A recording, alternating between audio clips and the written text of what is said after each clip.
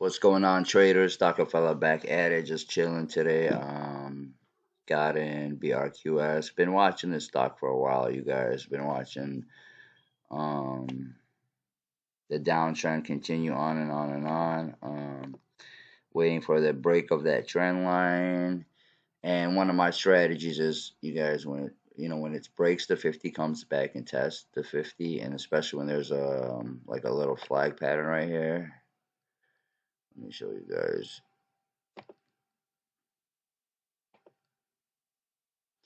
And there's a little flag pattern right there. Got in. Um, a few thousand shares, 13,370 uh, shares.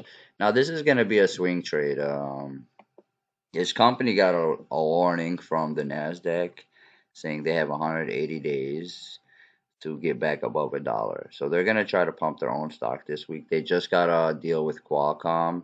There's a lot of volume coming in. Um, this has ties to Mullen. This stock has ties to Mullen with uh, Isuzu Holdings.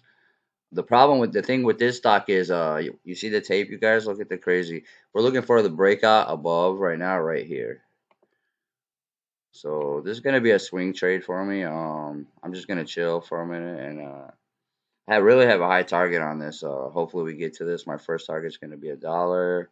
My second target is going to be hopefully 187. Um, so I'm going to swing this. And uh, this is a high risk trade, you guys. Just to let you know. It, um, this this can get delisted, you know, at the end of August. We have till August.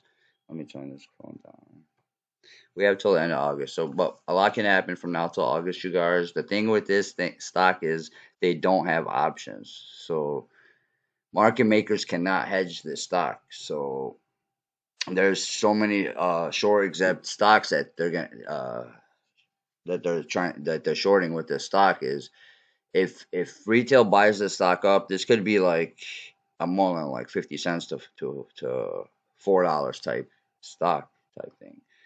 So I'm gonna uh, be watching it for a few days, you guys. I don't I don't like to look at the money, which I advise you guys to do when you're trading. Just follow the pattern and follow the stocks. Like you know, so don't pay attention to the money too much.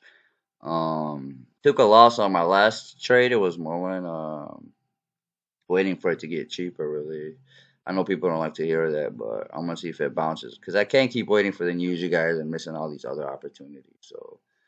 But we're going to swing this for a minute, see what happens. The whole goal is to break 30 today, possibly 50 in this week. And in the next couple weeks, possibly try to get up to a dollar. This thing's a low float, 53 million uh, float, I believe.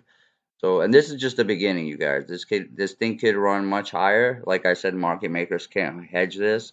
They have a um, like a six T, T plus six rule, so they have six days to to get the shares if they're shorting. But the thing is, if, if there's no shares, this thing's gonna squeeze like crazy, guys. So remember, it is a low float. Um, I'm not telling anybody to swing this. I'm just letting you know my trades for today. Looking for the breakout above 30. A lot of people are gonna be waiting for the 30 breakout, you guys, for this, for them to get in. And uh, some people invest this. Uh, Pelosi's son's in this. Um, some good holders in here, and um, let's see if they pump it up to a buck or two. So. Um, Anybody has any questions, email mytradecoach23 at gmail.com. Here's the break of 30.